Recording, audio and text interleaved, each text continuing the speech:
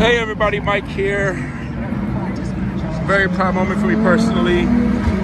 So, the blue 2021 IS, the first one modified, um, originally, believe it or not, I, I, really didn't have much time. There wasn't really much anything for the car. It literally was mission impossible. Got it done at the last minute. And it's been so well received that um, the original plan was kind of the let's put it back to stock well, now it's it's it was the prototype challenge pace car, which is uh, just mind blowing to me. And I can't say enough about uh, Lexus USA and obviously Lexus Racing uh, for allowing me to be a part of that. And my partners obviously has the ADV1 flow spec wheels, uh, Michelin, Michelin tires was a Pilot Sport 4S, uh, and the RSR USA prototype springs. Those springs are actually available now, the production springs. And uh, I love, I'm digging wrap. I've been seeing a ton of people taking pictures. It's really, I think it's tastefully done. Uh, not completely wrapping the spindle, which I think was a good idea.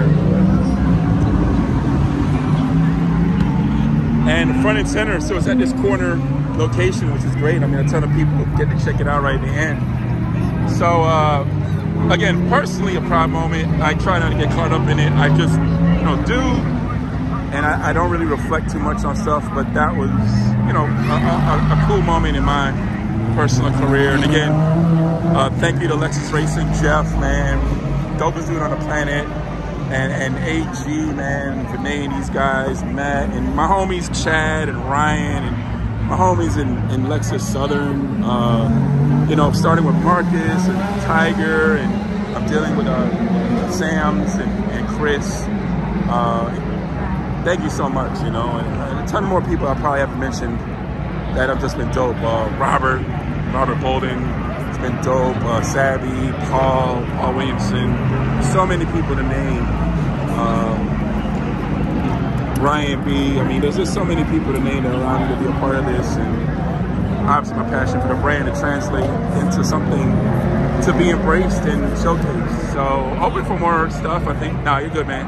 Um, even more, I think, exciting stuff is coming. Um, but yeah, this IS, if you don't know, sales have been up 80% the two months it came out without any marketing support. The marketing support started January 1st.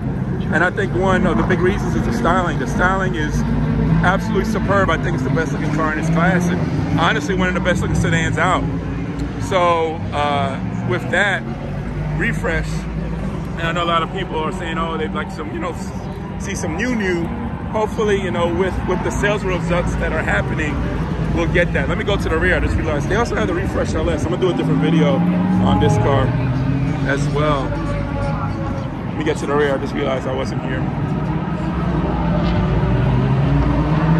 So yeah, this is at the uh, Rolex 24 here at Daytona International Speedway. It's every year in January. Let's guys check it out. Make sure that you uh, come out. We have uh, obviously the, the Lex Fest, uh, Lexus Enthusiast group teamed up with uh, the Florida Fs. And I don't even know if you can hear me. It's so loud here, but I'm hoping you can.